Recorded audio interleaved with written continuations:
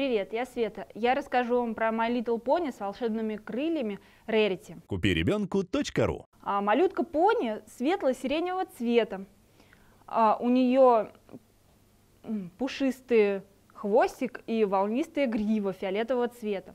А, в комплект входит а, маленькая бабочка, она фиолетового цвета.